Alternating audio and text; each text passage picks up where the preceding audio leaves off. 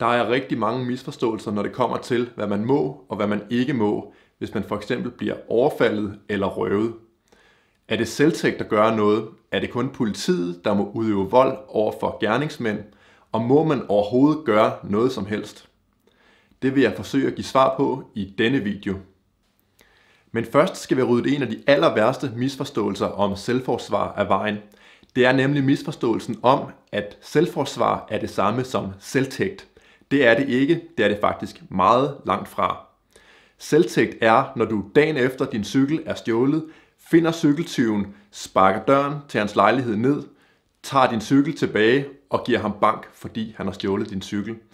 Det er ikke selvforsvar, det er nemlig selvtægt. Altså når handlingen imod gerningsmanden er fjernet fra det tidspunkt, hvor han har begået gerningen, og det sådan antager karakter af straf.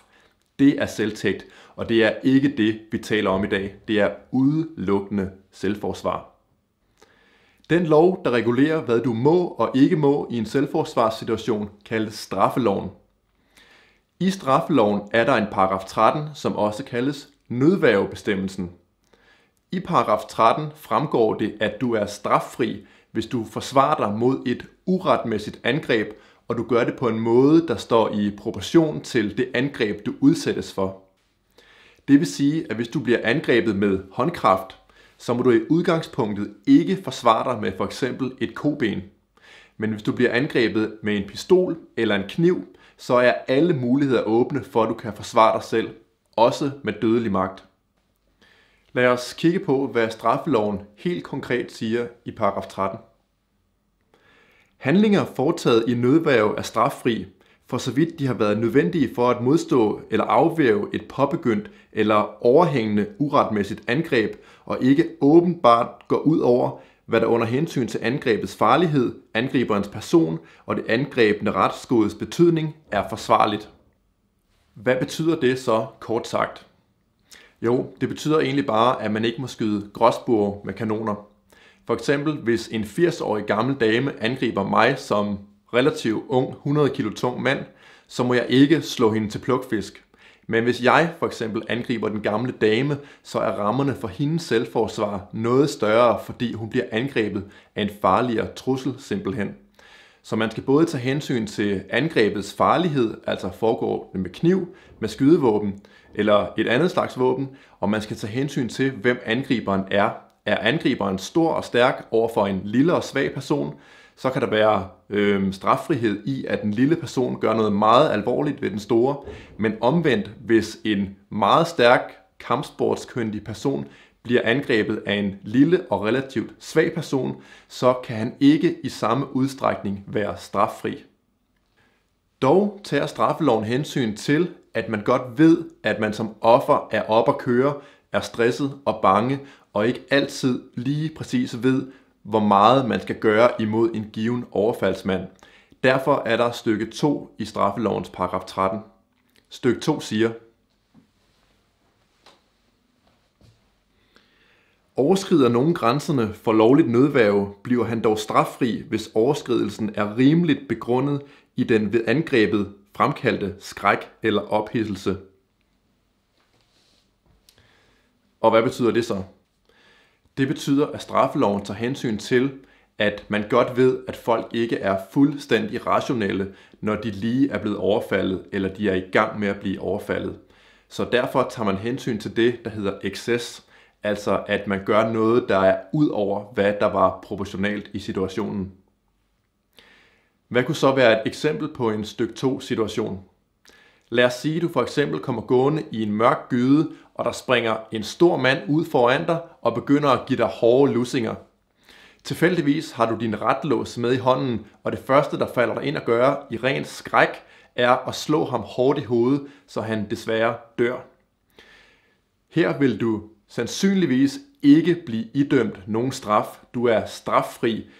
Godt nok har du gjort noget, der var meget værre ved ham, end han gjorde ved dig, men fordi du var så bange og ophidset, så tager loven hensyn til, at du reagerer, som du gør.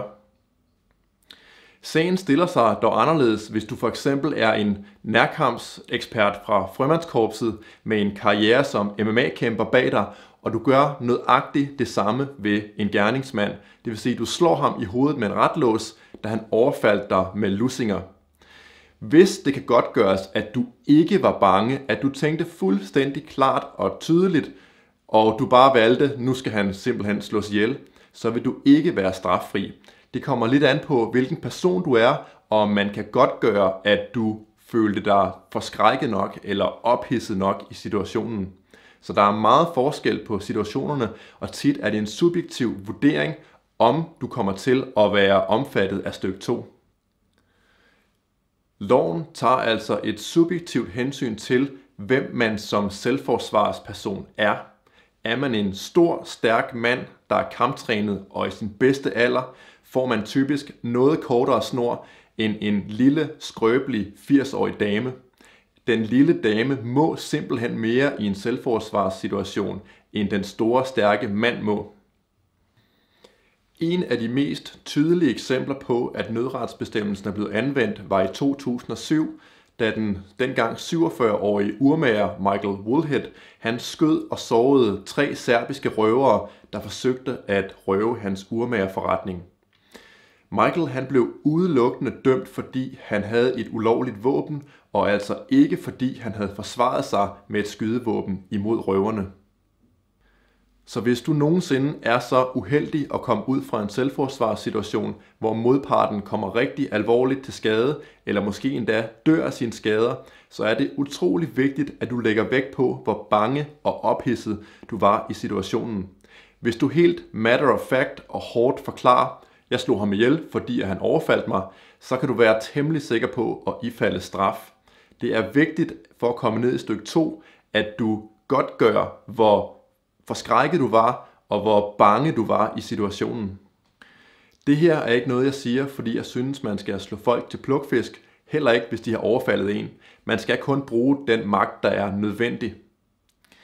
Men jeg siger det, fordi at det danske retssystem mere og mere ser ned på mennesker, der har forsvaret sig selv i forskellige situationer, og faktisk også i nogle tilfælde dømmer folk for at have begået selvforsvar.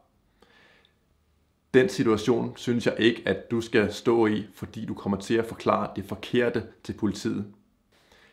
Du kan lige så godt give dig selv de bedste odds, hvis du er så uheldig at stå i sådan en forfærdelig situation.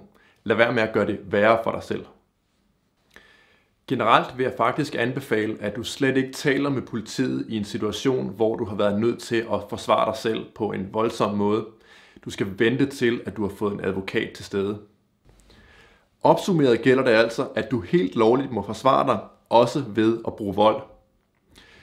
Volden skal bare stå i forhold til det angreb, du bliver udsat for, så ikke skyde gråsbuer med kanoner. Og til sidst, at retten subjektivt vil tage stilling til, hvem du er og hvor stærk du er, når de skal vurdere, om du er straffri i en selvforsvarssituation.